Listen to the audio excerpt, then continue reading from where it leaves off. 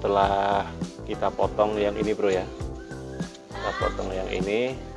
Saya menggunakan kawat benderat ini untuk untuk lingkaran sini bro ya.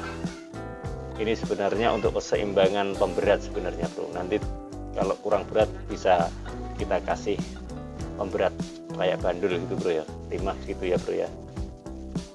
Oke teman-teman sebelum kita mulai caranya kita harus melubangi setiap pinggir ini bro ya. Bawah atas bawah jumlahnya 5 5 biji bro ya.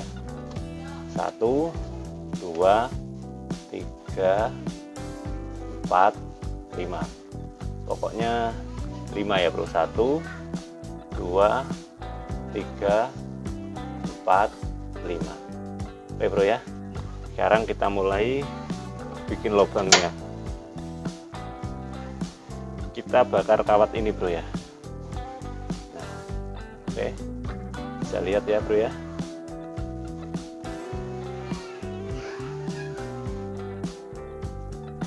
Kita bakar kawat antena tadi. Tunggu sampai panas bro ya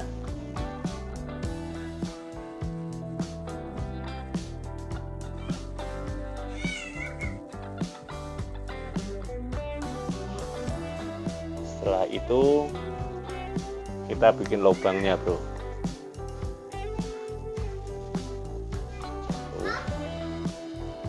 Dua atas bawah bro ya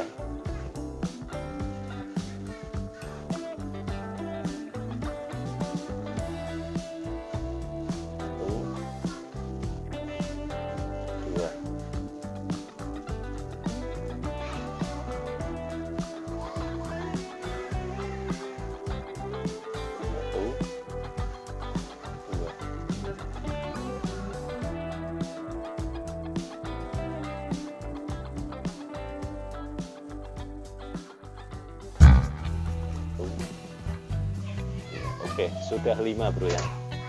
Sekarang kita matiin. Ini sudah lima bro ya. Eh, kurang jelas bro ya. Oke.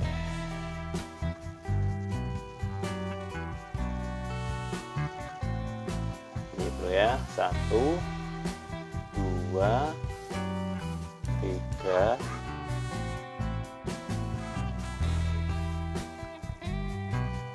empat, lima. Oke bro. Sekarang kita bikin ini bro ya. Yuk kita bikin di luar aja bro. Oke sahabat Vero Mancing.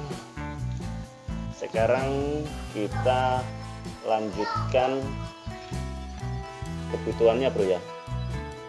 Ini botol yang siap kita gunakan bro ya. Ini uh, botol teh botol sosro ini bro ya. Kebutuhan kita satu ini. Dan yang kedua gunting.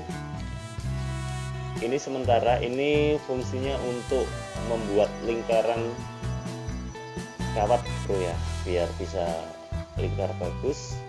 Saya menggunakan botol susu. Sebenarnya nggak harus botol susu. Apa aja bisa yang penting bisa kawat tersebut bisa melingkar gitu bro. oke. Dan saya menggunakan ini. Ini adalah gegep atau catut atau tang bisa buat pemotong kawat. Dan ini kawat yang saya gunakan ini kawat antena bro ya. Bekas antena. Antena ukurannya segini gini nggak tahu ini ukurannya berapa nggak ngerti. Terus ini ada senar senar bekas gitu ya. Bekas mancing saya nanti saya gunakan untuk mengikat kawat ke botol. Oke langsung aja kita mulai. Pertama kita buka ini bro ya. Nah, kita kita buat lingkarannya dulu bro